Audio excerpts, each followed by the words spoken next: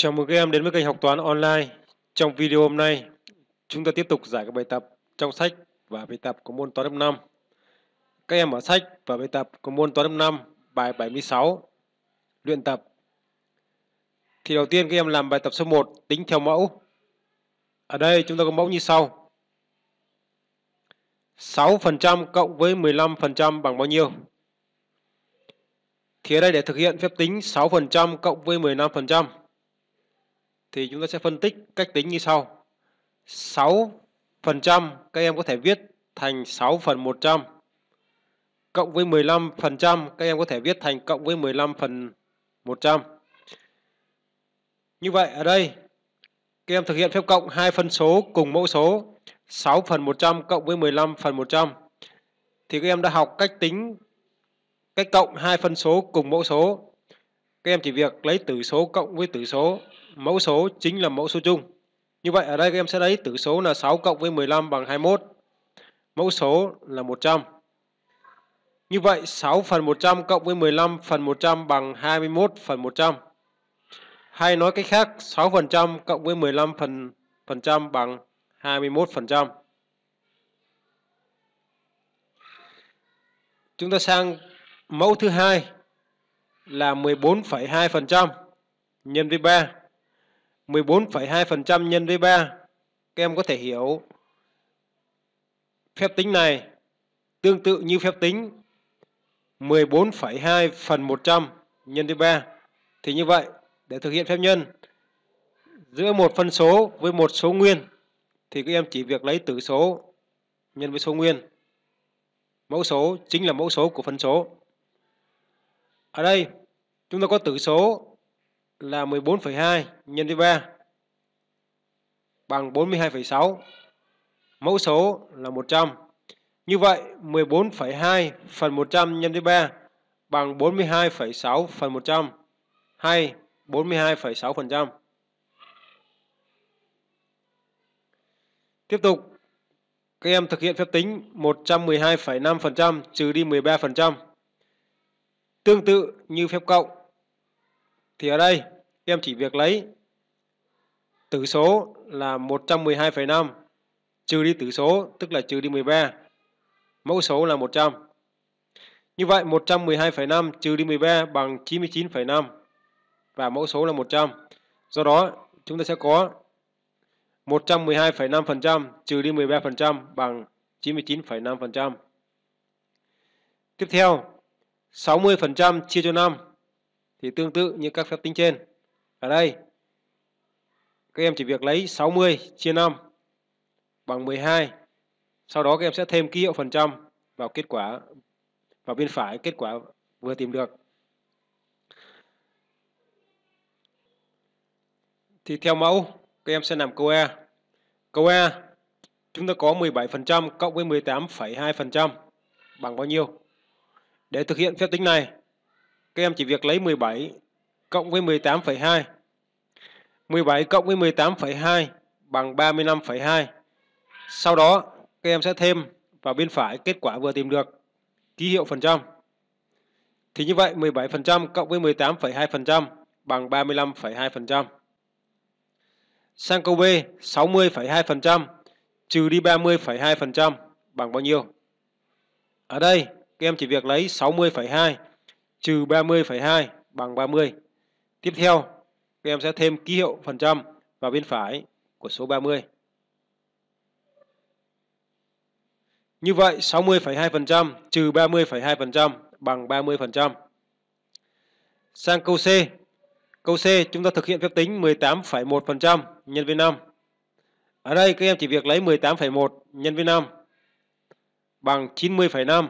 Sau đó các em sẽ thêm ký hiệu phần trăm vào bên phải của số 90,5. Như vậy 18,1% nhân với 5 bằng 90,5%. Sang câu D, 53% chia cho 4. Ở phép tính này, các em chỉ việc lấy 53 chia cho 4 bằng 13,25. Sau đó các em sẽ thêm vào bên phải của số 13,25 ký hiệu phần trăm. Như vậy là 53% chia cho 4 bằng 13,25%. Tiếp theo các em sang bài tập số 2. Bài tập số 2 có nội dung như sau. Theo kế hoạch, năm qua thôn Đông dự định trồng 25 hecta khoai tây. Thôn Bắc dự định trồng 32 hecta khoai tây. Thì đến hết năm, thôn Đông đã trồng được 27 hecta khoai tây. Thôn Bắc cũng trồng được 27 hecta khoai tây. Viết số thích hợp vào chỗ chấm. Câu A. Thôn Đông đã thực hiện được bao nhiêu phần trăm kế hoạch cả năm và đã vượt mức bao nhiêu phần trăm kế hoạch cả năm. Câu B. Thôn Bắc đã thực hiện được bao nhiêu phần trăm kế hoạch cả năm. Thì đầu tiên các em nằm câu e, Thôn Đông đã thực hiện được bao nhiêu phần trăm kế hoạch cả năm. Để tính thôn Đông đã thực hiện được bao nhiêu phần trăm kế hoạch cả năm. Thì ở đây các em dựa vào nội dung của bài toán. Theo kế hoạch thì thôn Đông dự định trồng 25 hecta khoai tây. Nhưng thực tế là đến hết năm thì thôn Đông đã trồng được 27 hecta khoai tây.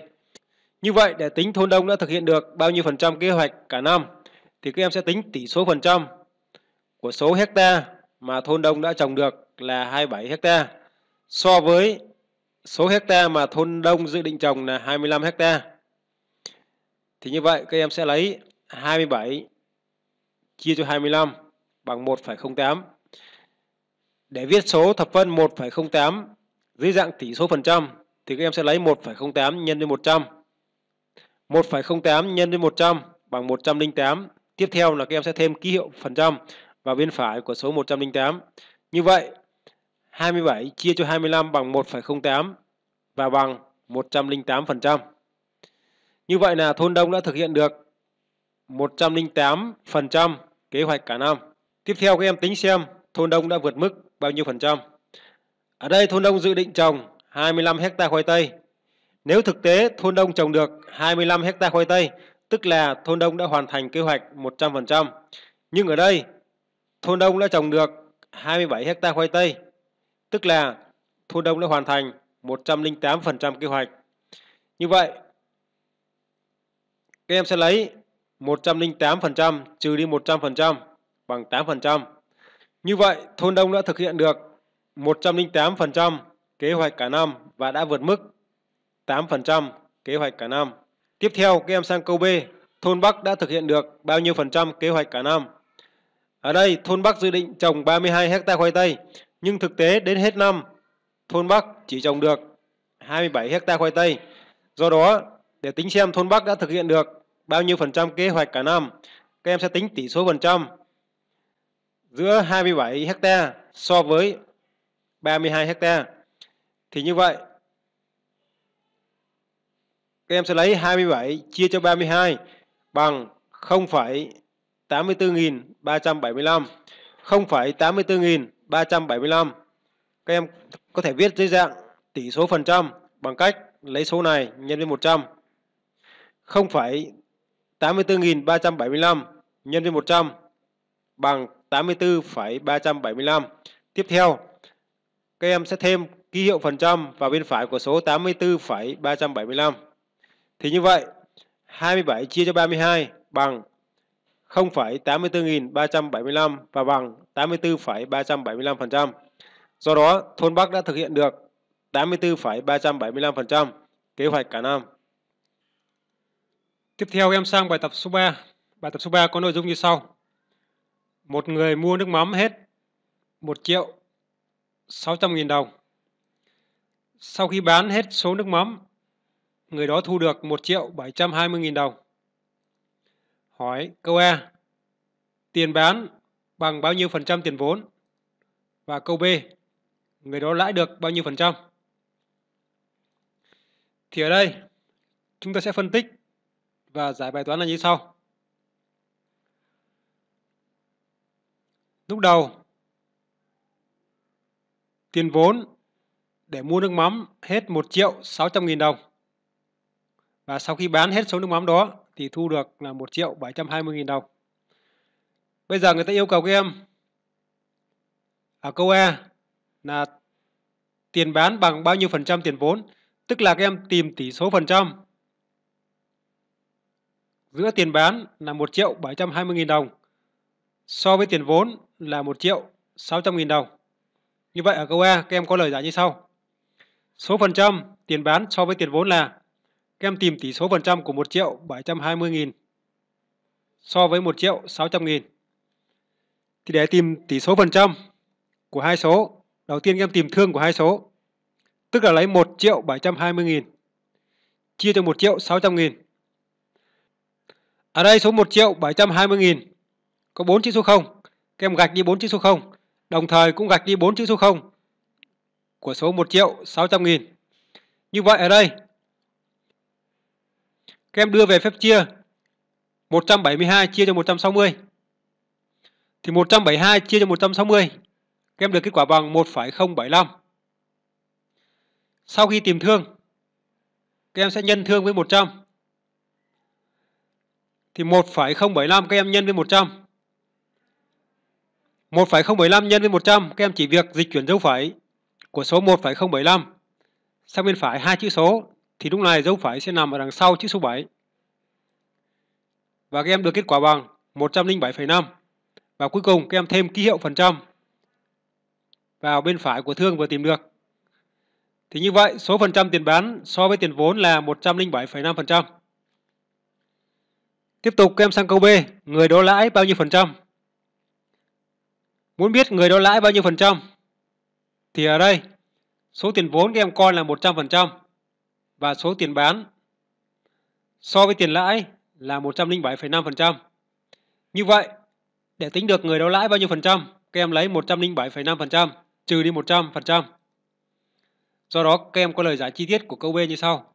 Người đó lãi được số phần trăm là các em lấy 107,5% trừ đi 100% và các em được kết quả bằng 107,5 trừ đi 100 bằng 7,5.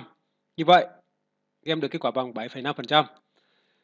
Do đó ở đây các em sẽ có đáp số câu E là 107,5% và câu B là 7,5%. Tiếp theo các em sang bài tập số 4. Bài tập số 4 có nội dung như sau. Khoanh vào chữ đặt trước kết quả đúng. Một người gửi tiết kiệm 1 triệu đồng. Một năm sau, người đó rút về cả tiền gửi và tiền lãi được 1 triệu 080 nghìn đồng. Hỏi cả số tiền gửi và tiền lãi bằng bao nhiêu phần trăm số tiền gửi? A là 108%, B là 10,8%, C là 1,08% và D là 8%. Ở đây người ta hỏi cả số tiền gửi và tiền lãi bằng bao nhiêu phần trăm số tiền gửi. Thì ở đây cả số tiền gửi và tiền lãi là 1 triệu 080 nghìn. 1 triệu 080 nghìn đồng. Còn số tiền gửi là 1 triệu đồng. Thì như vậy, để giải bài toán này, các em sẽ tính tỷ số phần trăm của cả số tiền gửi và tiền lãi so với số tiền gửi.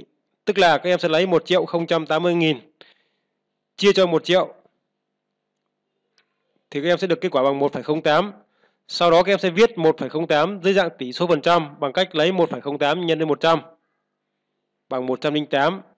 Và tiếp theo là các em sẽ thêm ký hiệu phần trăm và bên phải có số 108. Thì như vậy, tỷ số phần trăm của 1 triệu 080 nghìn so với 1 triệu là 108%. Tức là cả số tiền gửi và tiền lãi bằng 108% số tiền gửi. Như vậy ở đây đáp án chính xác là đáp án A. Thì như vậy video hôm nay xin được kết thúc ở đây. Cảm ơn các em đã dành thời gian để theo dõi video. Nếu cảm thấy video chia sẻ là hữu ích, thì các em vui lòng bấm nút like và nút share để chia sẻ cho nhiều người cùng xem. Và đừng quên bấm vào nút đăng ký kênh. Nhớ nhấn vào biểu tượng hình ghi chuông để nhận các video mới nhất từ kênh học toán online. Các em nhớ để lại comment suy nghĩ của mình để đóng góp cho kênh học toán online ngày một phát triển hơn. Xin chào và hẹn gặp lại các em trong các video kế tiếp.